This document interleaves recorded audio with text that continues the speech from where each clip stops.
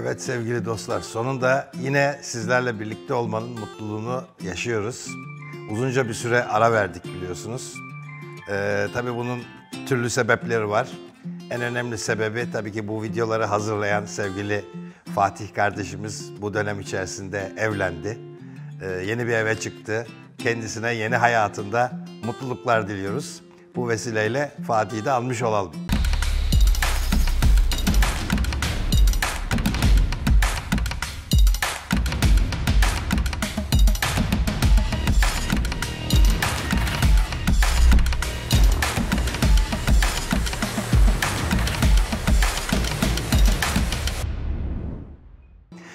Şimdi e, çok uzun bir süre oldu. E, hakikaten e, bu yayından kopmak bizim için de zor oldu. Ama bu arada çok farklı e, etkinlikler de vardı. E, yani boş durmadık, emin olun. Özellikle Eylül ayından itibaren başlayan ve daha yeni bu ay e, işte geçtiğimiz ayın sonlarında e, bitmiş olan işte fuarlar ve festivaller serisi vardı. İlk önce Eylül ayında 18-21 Eylül'dü sanırım. Ee, şey Cafex fuarı. Cafex fuarı başladı. Ona katıldık Espresso Perfetto olarak. Cafex artık sektörün bir fuarı olma niteliğini kazandı. Ee, üçüncü e, fuarı oldu bu sene. E, bu sene farklı bir yerde yaptılar. Haliç Kongre Merkezi'nde yaptılar. E, gerçekten eğlenceli e, geçti. E, işte müşterilerimizle, işte ürünleri görmek isteyen, yakından görmek isteyen kişilerle tanışmak, sohbet etmek veya ürünleri tanıtma fırsatı bulduk. Eylül ayından sonra biliyorsunuz Ekim ayı tam festivaller ayı İstanbul'da ve Ankara'da hatta İzmir'de. Biz Ankara Kahve Festivali'ne katıldık öncelikli olarak. Ekim ayının ilk fuarı Ankara Kahve Festivali oldu.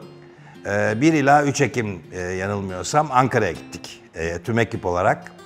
Ankara'yı çok seviyoruz tabii. Ankara Festivali katılmak da hoşumuza gidiyor. Yıllar önce, e, bundan bir iki sene önce en son fuara katılmıştık. Ve çok güzel geçiyor bu festivaller. Şimdi tabii festivallerde, fuarlardan farklı bir atmosfer var. Daha rahat bir e, ortam içerisinde sohbet ediyoruz. Herkes kahveleri denemek istiyor. Biliyorsunuz e, biz bu sene e, her iki festivalde de hem Ankara olsun hem İstanbul olsun e, bizim yeni markamız Grizzly Cafe Roasters Alaska Espresso Blend ile e, sunumlarımızı gerçekleştirdik. Tabii bizim klasik İtalyan roast e, Miscela blendimiz de e, vardı fuarda, şeyde festivallerde de.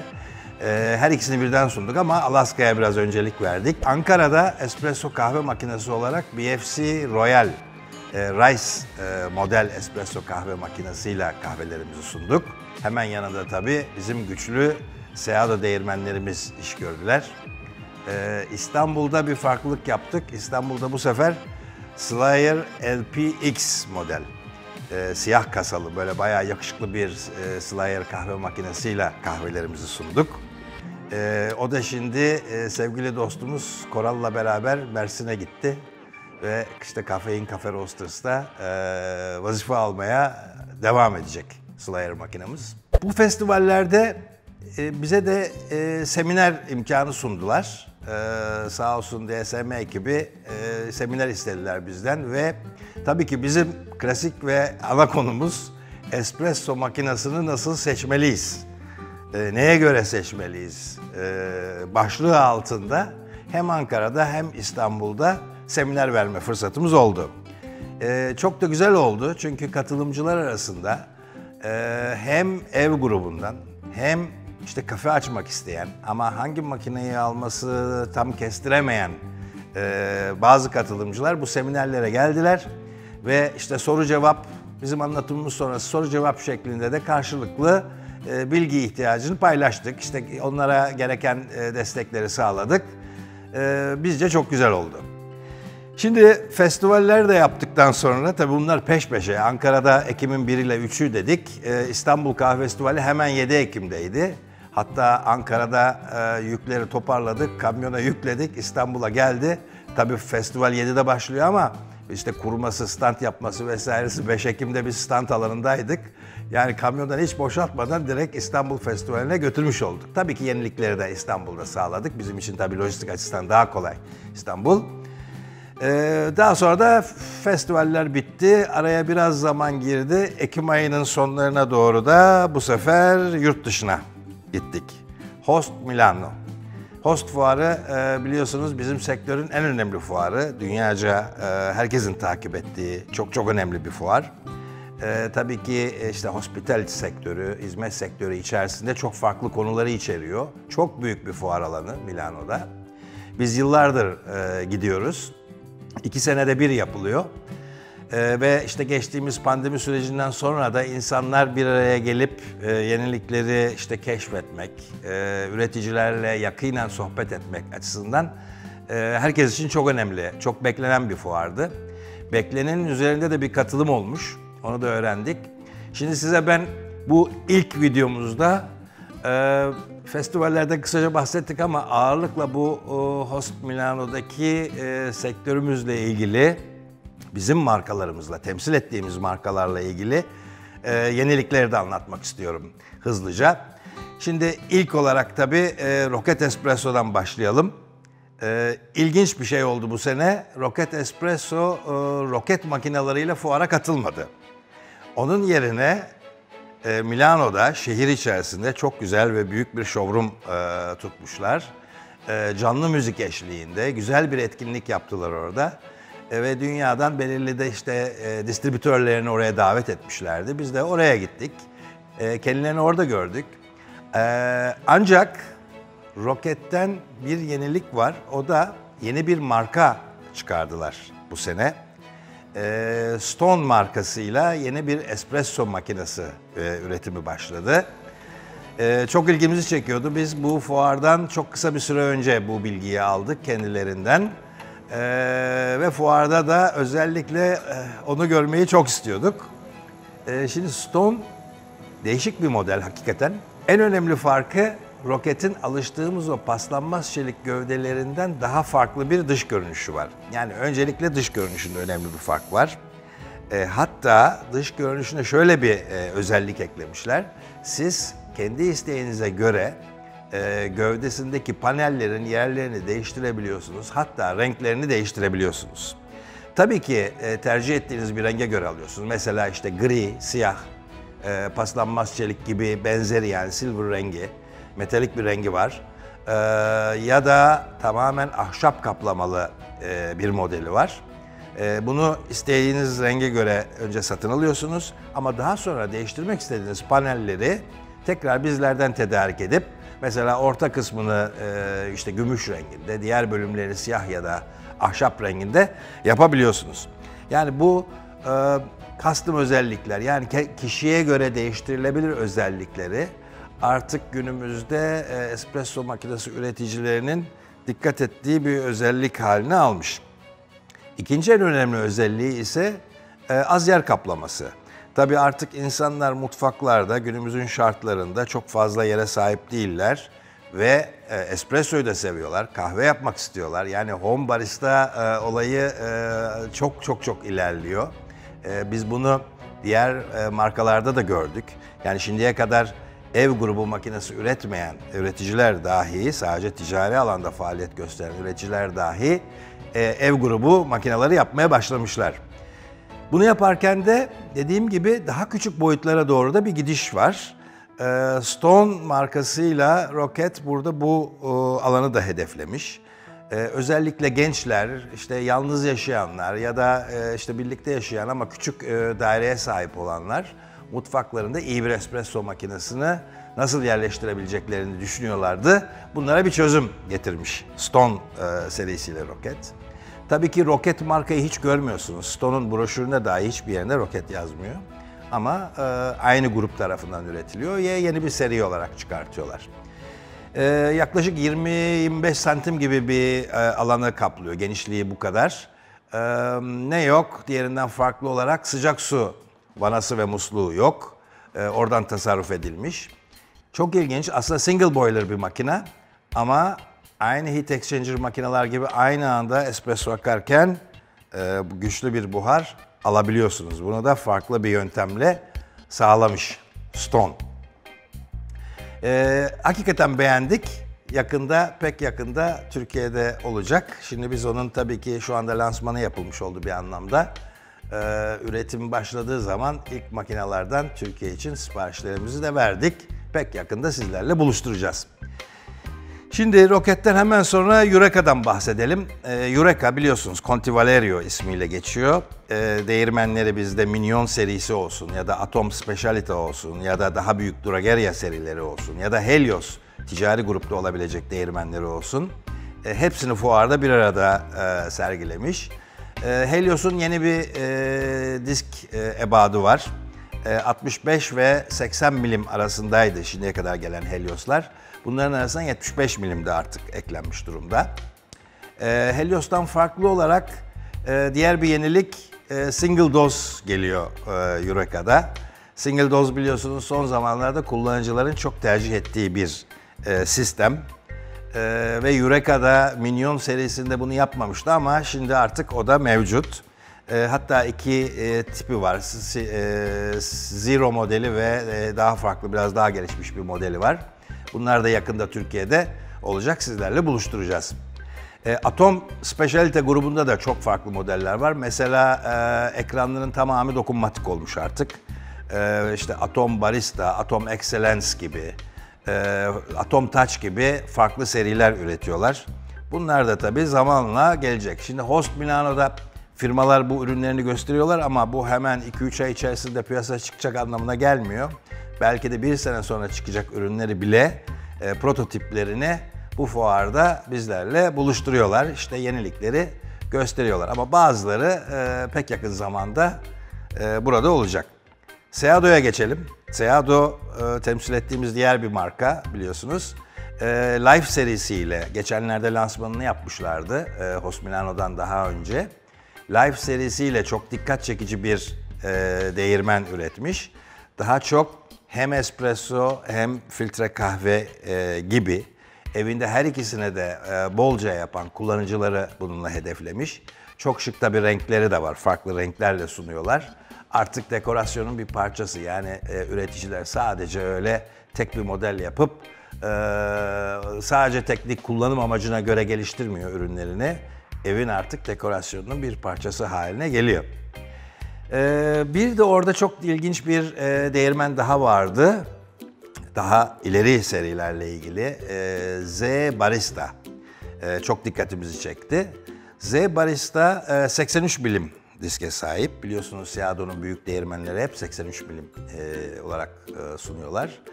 E, yalnız bu e, öğütücünün şöyle bir farkı var. E, belli bir müddet normal dönüşünü sağlıyor e, diskler. Ama süresini bitirmeden önce son 3-4 saniyesini de geri dönüş sağlıyor. Yani siz diyelim ki bir e, 6-7 saniyelik bir öğütme yapacaksınız. Bunun 4 saniyesini diskler işte sağ tarafa doğru dönerken son 2-3 saniyesini de sol tarafa dönüyor. İçerisinde mümkün olduğu kadar e, kahve bırakmamak için. Artık bu e, zero retention dediğimiz e, yani içerisine 18 gram koydum 18 gram çıktı almak istiyorum. Her üretici bunu sağlamak için farklı yöntemler geliştiriyor. Bu ters dönüşte dikkatimizi çeken çok değişik bir yenilik. Şimdi e, öğütücülerden sonra tabii ki Slayer'a geçelim. E, Host Milano'nun belki de en önemli standlarından bir tanesi e, Slayer'ın standı ve her zaman dikkat çekici ve göz alıcı ürünleriyle katılıyorlar. E, Slayer'den iki tane büyük yenilik var. E, ona hemen bahsedelim. Bir tanesi e, özellikle e, ev kullanıcılarının tercih ettiği e, tek gruplu Slayer'ın single grup serisinden espresso modeli. Şimdi bu model e, su tesisatına bağlamadan çalışmıyordu. Kesinlikle bir su tesisatı bağlantısı gerekliydi e, makinenin çalışması için. O yüzden bazı evlerde bunu nasıl yaparız sorusunu biz hep e, duyuyorduk. Fakat buna bir çözüm getirmiş sonunda Slayer. E, makinenin altına e, ekstra bir su deposu monte edilebiliyor. Bunun için bir kit yapmışlar.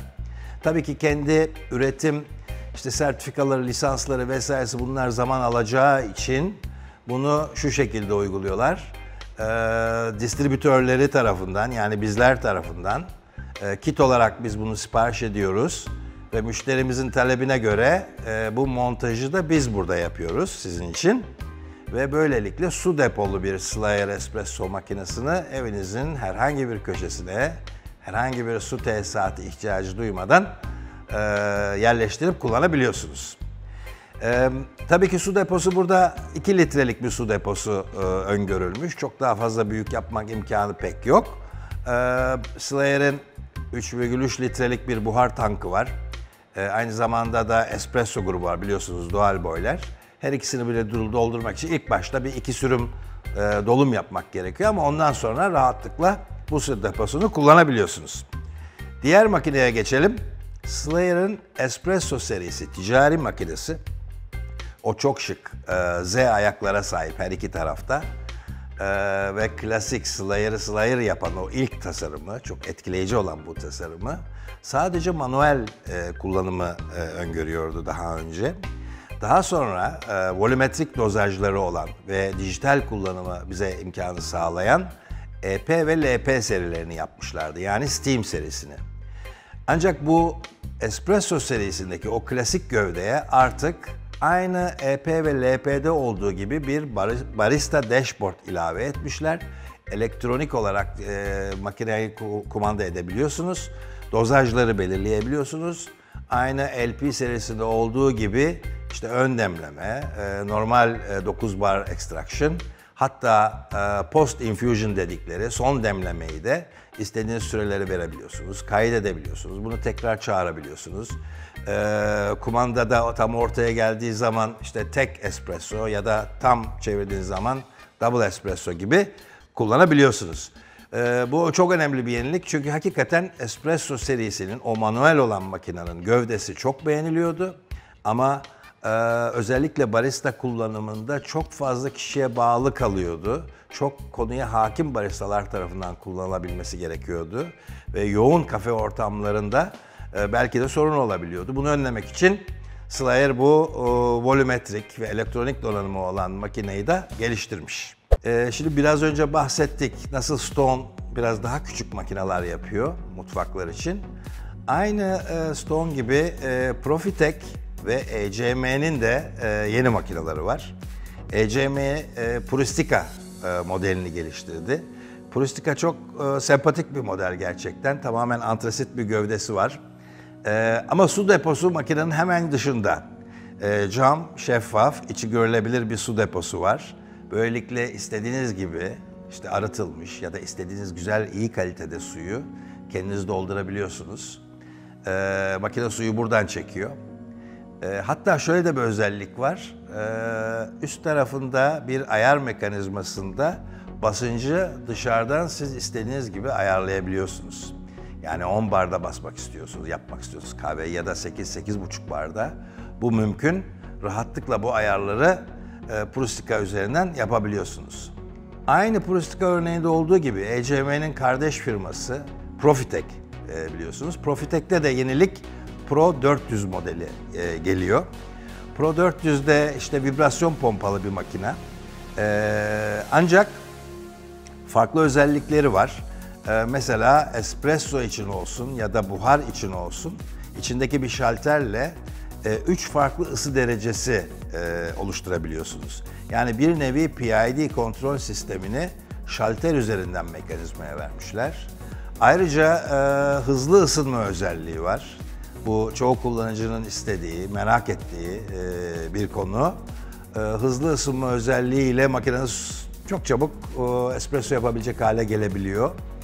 E, diğer bir özellik e, Pro 400'de e, kumanda e, vanaları bu buhar için olsun ya da sıcak su için olsun bu vanaların e, çok değişik bir şey yapmışlar. İçlerinde yuvarlak bir kağıt var ve siz onu istediğiniz gibi e, renkli kalemlerle bile boyayıp kendiniz için özelleştirebiliyorsunuz.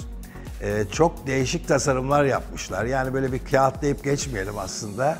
E, gerçekten çok hoştu ve e, fuarda bunu renkli kalemleri ortaya yaymışlar ve her gelen işte farklı e, tasarımlar çiziyor ve böylelikle de makinesini kendi isteğine göre özelleştirebiliyor. Bir de E, Lelit standında da farklı e, bir tasarımlar gördük. Özellikle Mara X modeline 3 ayrı dış kaplama yapmışlar.